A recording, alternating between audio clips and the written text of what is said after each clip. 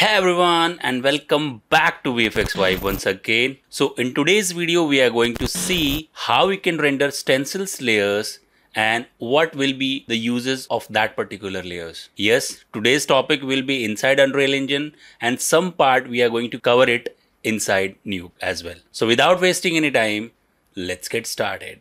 Okay, as you can see over here, I have my scene setup. It's a pretty basic setup which I have did and probably I can see my this thing is on top of this thing. So let me do this. Yeah. So this is okay for me. And what i'm going to do i'm going over here and i can take main camera. So this is my camera setup. And if i'm going to show you my camera setup so this setup i'm going to use so probably you can see over here I am using uh, 80 mm lens and my current aperture is 1.2 right so that I can get a good bokeh. So what you have to do uh, to render stencils layers. So I'm going over here and I'm going to add level sequence right.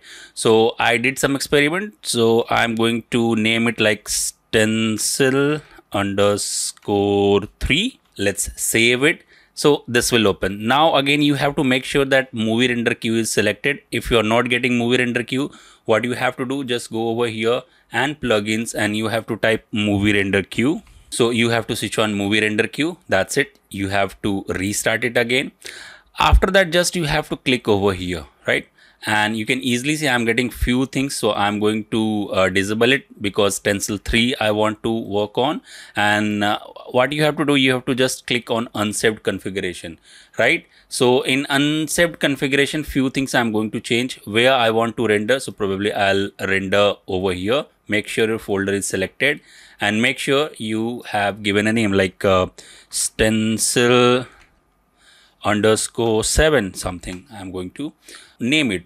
And you have to make sure what kind of resolution you are going to make like i'm going with the 19201080 and frame range it's mandatory. You can uh, select by using 5 and 6 or probably you can leave it as it is so that will render frame number first. Apart from that i need to delete my jpg sequence because i want to render exr sequence. Why exr sequence? Because it's a uh, it's having more data and also i want to save my transparency thing in it as well. Apart from that you have to go to default rendering and as you can see over here i am getting uh, stencil clip layer. So what you need to do you need to add your stencil layer inside default rendering. So i'm going to use actor why actor because i want to keep my few actors or static mesh actors inside that particular group right? So i'm going over here and i'm going to click plus on it. And make sure you have to select browse layers. Already i have created few layers but what i'm going to show i'm going to close it right? So keep it none over here and uh, you have to select browse layers. As i'm going to select browse layers you will have layers tab over here and make sure if you have any predefined probably you will have like this it will be empty right? So just i've deleted it. So what you have to do just you have to right click on it and you have to create empty layer and you have to rename it like foreground or midground or background. Whatever render layer you are going to create you have to name it right? If you want to put few elements or actors in one layer you can do it. If you want to split it in 10 layers you can do it as well right? So after creating foreground what you need to do you need to select those elements which you want to include in this particular layer. So i'm going to outline and in outline i need to figure it out where my these things are. Like i'm going over here and i have created a group like this. So what i'm going to do i'm going to select this by holding shift everything is selected. Just go to layers and right click over here and add selected actor to selected layers right? So i'm going to do this. If you want to recheck it just you have to do and just switch off this eye. If everything is going to switch off that means every actors are added inside that particular foreground group right? Or layer apart from that what you have to do? Just go to outliner and what camera you want to render. So i'm going to add my main camera. Just click and drag over here, right? It's pretty simple. So now my camera is set, my actors are set, my layers are set. Now what else? So you need to do few more things like you have to go over here and you have to make sure that my accumulator includes alpha is on. If it will not on, what will happen? Your alpha won't render, right? So I'm going to use this. It might possible first time if you're doing it it will say a error or it will ask a error and, and it will say that you need to enable it. So how we can do this? So just go over here and project setting. And in project setting under engine and you can go under uh, rendering. And in rendering you can go to post processing and you have to use enable alpha channel support in post processing. By default it will be disabled you have to select linear color space only. This option is working fine for me. If you want just you can check allow through a tone mapper as well. But this option is working fine for me so i'm not going to change it. Just close it. Also if you want to render your background layer separately so you can create another layer. But i'll recommend just i'll recommend add default layers. What will happen? It will render all the elements apart from actors which we have added in our foreground layer so it will be pretty simple. So just switch it on and uh, i think rest everything is fine for me. A few more things i will change like i'll do anti-aliasing and sample count might be 16 or 8 it will work fine for me. If you want to add some console commands you can use it go for it but keep it in mind that your render time will increase. Suppose that you are adding two layers. So a single layer will uh, if suppose that single layer is taking one second to render. If you are adding one more extra layer so what will happen? Your render time will be two seconds right? So it will just double your render time if you are adding 10 layers, it will take 10 seconds to render, right? So you have to keep it in mind. So this thing, I think it will work. And also I, if needed, I can add some console command. One thing I'll definitely recommend to do color output and uh, you have to use disable curve tone because I need to take that data to Nuke and I think this will work fine while working inside Nuke. So I think rest everything is fine. I'm going to accept it and I'm going to render local. Before render rendering just control shift s save everything and render local okay one thing i forgot to change once i have added my layers to foreground or uh, you need to tell my layers which layer I am going to render. So what you have to do instead of none, you have to do foreground. That is pretty important to do that. Otherwise your single flat layer will render. So now again, I'm going to accept it now hit render local and just see what we are getting. Okay, so my render has been done. So let's jump to Nuke and see what we have. Okay, so I'm getting my result over here and what I have to do I have to take a node called shuffle. Yes because I want to shuffle my all the layers. And over here I am getting final image default layer which is apart from my all elements which I have added inside my that particular stencil layer.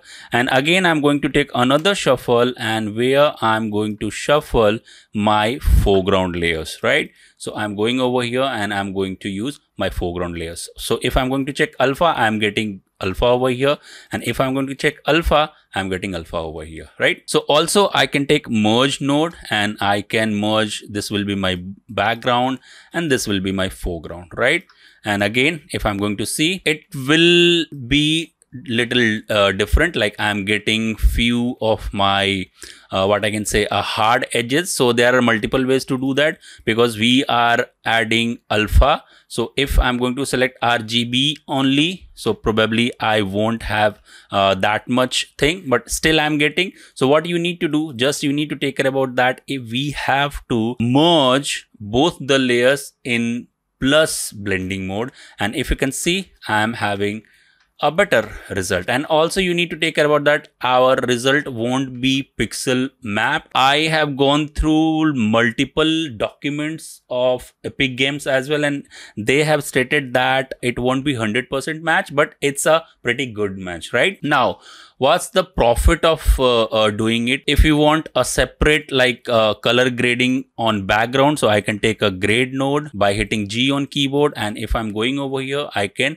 do my grade like this, right?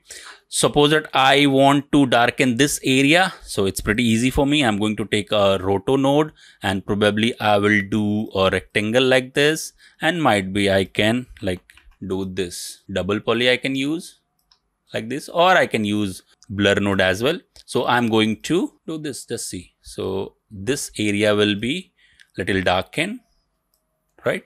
If i want to add some element behind my foreground also i can do it. So let's do it. So suppose that i want to add some fog. So i am going to take a node called noise just to show you.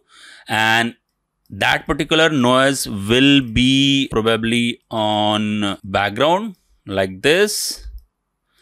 Not that much. So i'm going to lower down my opacity like this and probably I can do this over here. Let's do this. And over here I'm going to might be like gamma little down gain little up. Might be possible I'm taking a grade node and probably I will do a little color grading like bluish kind of stuff I wanted. Not this much. Probably this much and also I can add little tint to my highlights like this. And if I'm going to see it will be like little fogginess I'm getting. If you want just go over here in noise and probably I can fix it like this. And it might possible you can do multiple things like uh, you want to cut down fog from top that also can be done. So i can take uh, again roto node and i can take rectangle and probably i want to cut down from this area. And also i'm going to take a blur node just to soften my edges like this. Just see. I can use double poly as well if needed. I can do it.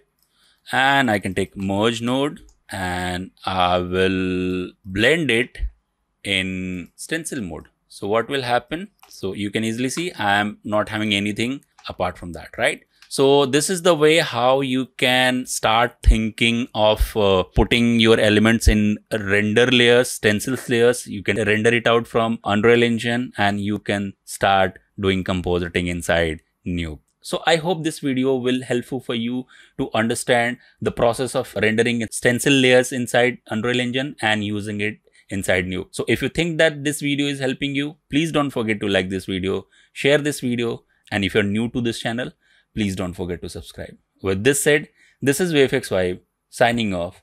Have a good day.